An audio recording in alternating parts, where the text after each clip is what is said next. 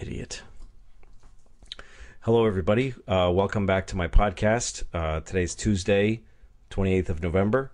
Um, it's only been a couple of days since the uh, last one, but um, I I don't know how often I'll do these. I thought I didn't uh, do another one because um, I just I checked the uh, the amount of people that that downloaded the last one, and forty thousand people downloaded my podcast, which I think is particularly great considering that um, that's not at all uh, true. Uh, it was actually 336. But how great is that that 40,000 people downloaded my podcast? Even though it didn't happen, it was only 336. I still think it's, I'm still kind of floored by that fact that 40,000 people and it's only been up for really a day. That's so many people, even though that's not actually how many people at all um, downloaded it. It doesn't. It does that doesn't stop me from celebrating that. Um, I think too. I, you know, that's the way you got to look at life. You, you.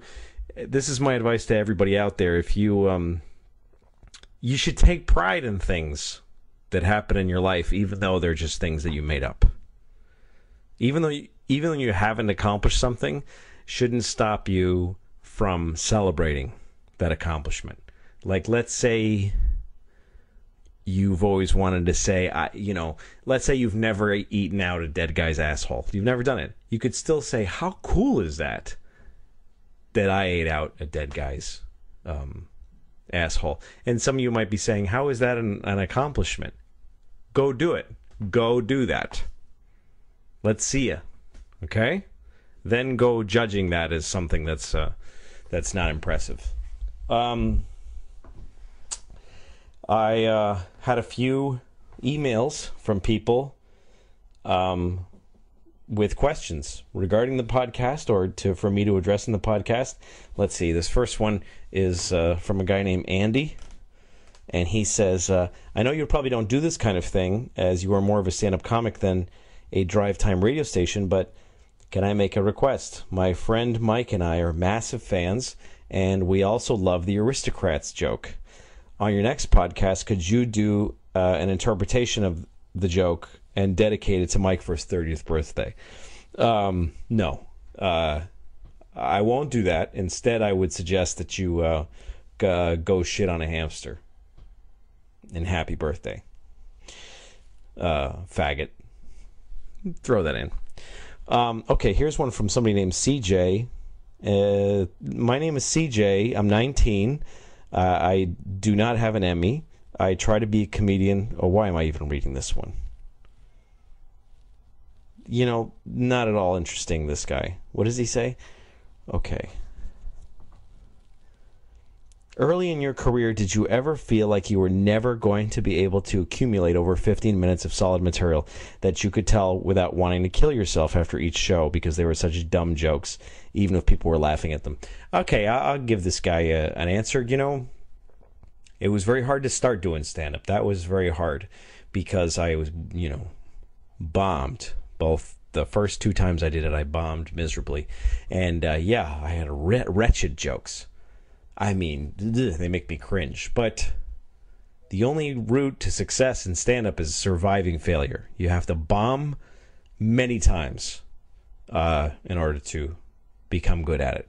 So that's my advice to you, uh, you little 19 year old pain in my ass. Um, and then a fella named uh, Joshua Mabe wrote me, and uh, he wrote me kind of a long email that I didn't r- read all of, but he asked me about Pootie Tang and about the visual elements of the movie and and uh, he he seemed to think that I approached it as a filmmaker, which I did, and uh, he remember he noticed that I, I hired Willy Kurant as the director of photography for Pootie Tang, and Willy Kurant was an eminent uh, kind of new wave French, very old uh, director of photography who um, made films with Serge Gainsbourg, and uh, he made a film with uh, Godard. Um, masculine, feminine, and uh, worked with a lot of other great filmmakers. And uh, he was an amazing guy to work with. Um, and yeah, no, I took Pootie Tang very seriously as a film. I wanted to be a film director and direct a real movie about a guy who talks in a undiscernible language. Um, what was that? Um, that was an awkward edit, is what that was. Um, I'm cutting in here to what I recorded before because um, as I was looking at some uh, some footage uh, later after I recorded this podcast that you're watching now, this is confusing, but the me right before that jump cut you just saw recorded the whole podcast and then I looked at some shit on videotape and I found something that I wanted to drop into this part of the podcast. What this is is the a trailer for Pootie Tang that I cut with Doug Abel, the original editor of the film. Doug and I were both removed from the film before it was finished, and uh, but this trailer, which we cut that no one ever saw, it's very long. It's a very long trailer, um, but it was it's a good indication of what I wanted the film to be like. I wanted the film to be sincere and to seem like the subject was being treated seriously, uh, even though it was you know crazy. So this is a trailer just cut on an Avid by me and Doug Abel, the editor of Pootie Tang, um, which we circulated to the studio before we were done cutting. And it'll give you an indication of the tone of the film that I wanted, which is definitely different than what came out. Um, and also for those of you that love Pootie Tang, you'll just enjoy this. Um, and it's got a, a few little pieces of footage that never made it into any cut of the film, so that's there too.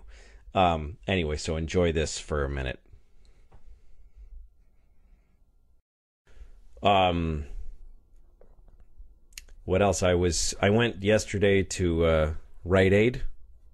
You know the pharmacy. It's like like Walgreens, like an all night big mega pharmacy. I went in there and um, they were selling sweatpants and then big plastic gallon jugs of vodka just no name vodka.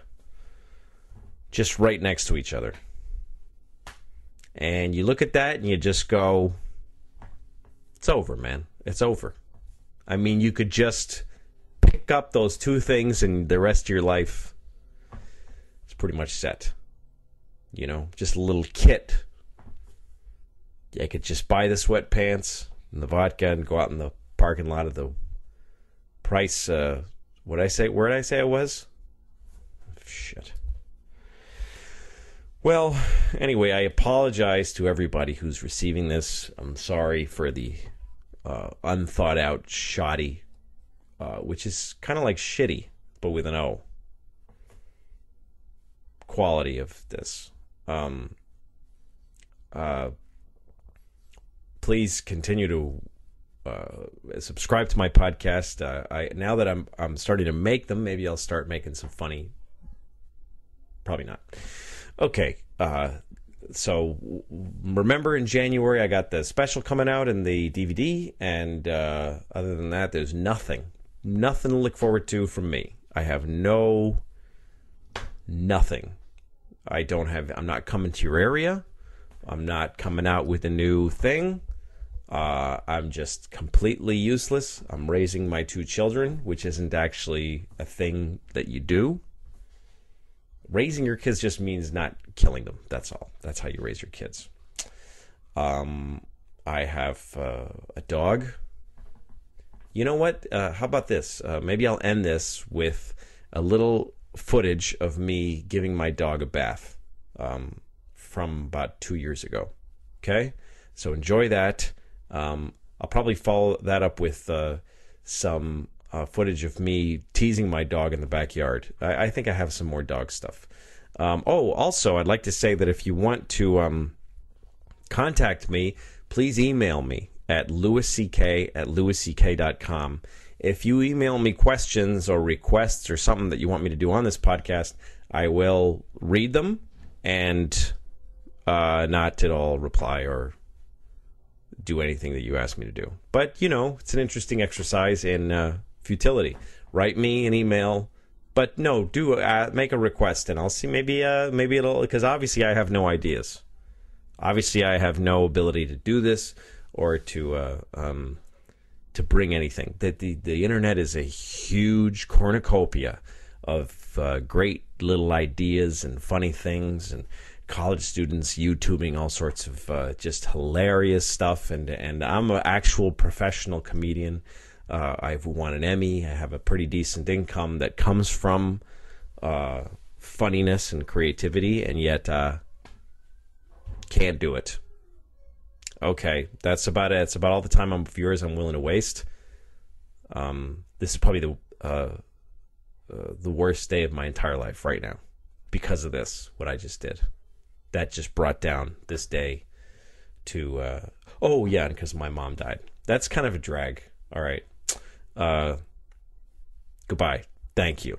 Thank you for tuning in.